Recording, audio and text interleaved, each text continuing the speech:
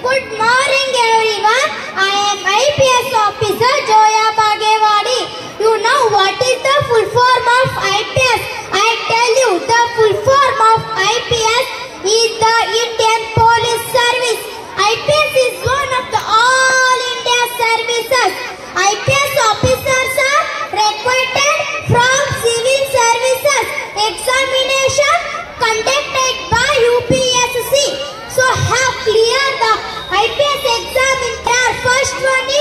is preliminary exam, second one is main exam, third one is inter exam.